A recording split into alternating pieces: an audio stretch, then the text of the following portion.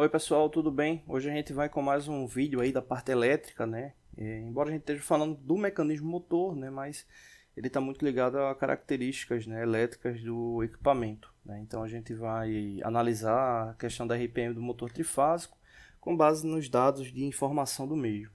Né? Então no caso é um motor trifásico, né? 3CV, 6 polos, né? e as características de ligação dele, né? 220, 380 ou 440 volts, né? Então, dependendo do fechamento que você for fazer, ele pode ser ligado em uma dessas tensões, né? E aí a frequência do mesmo 60 Hz, né? Então, para a gente calcular a RPM, a gente tem essa fórmula aqui, né? Que é com base na velocidade síncrona é, do motor, né? Aí depois eu vou explicar um detalhezinho, mas essa aqui é a fórmula, né? Já que ele é trifásico, ele leva em consideração essa referência, né? De 120, né?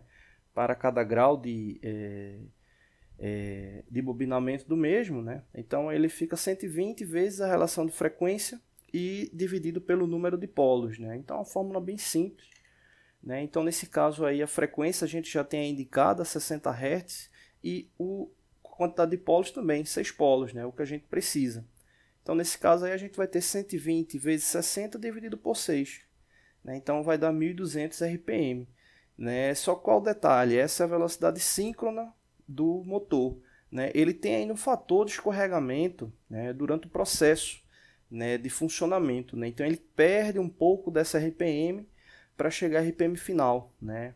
É ele perde muito pouco, né? aí apro apro aproximadamente ficaria 1160, 1140 RPM né? de diferença, mas existe uma fórmula também que a gente vai estar tá vendo depois. Mas para a velocidade síncrona do motor, a rotação com base nos dados é justamente essa aí, 1200 RPM, tá bom? 1200 rotações por minuto. Valeu, não deixe de se inscrever no canal, toda semana tem vídeo novo, valeu.